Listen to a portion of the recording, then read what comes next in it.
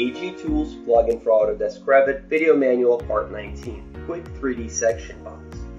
Now, in small projects, navigating in the 3D view in Revit is not really an issue.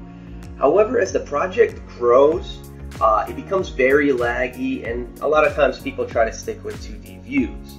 Uh, this building, even though it's 10 or something like that stories, there's not much here, so it's fairly quick. Uh, if this was, again, lots of families loaded, even dragging these section box handles would take forever. So this is what this plugin addresses. Uh, basically, it creates quick 3D section boxes out of 2D views. So let me show you what I'm talking about. Let's say we go to our level 5, and I want to get a section box. I want to see how this looks like in 3D very quickly. What I'm going to do is just basically click our 3D section. It asks for two clicks, and that's going to generate the extents of our section box. So you're going to click here, then we're going to click here, then it asks us how much above the level do you want to cut the section box. So by default it's 5 feet, I'm just going to go with that and press OK. And there we have it. So here's our quick section box. As you see, this would save you a lot of time.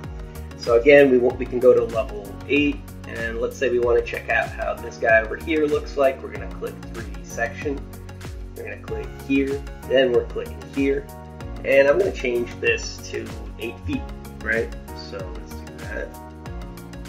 And here's our section box. And there you guys have it.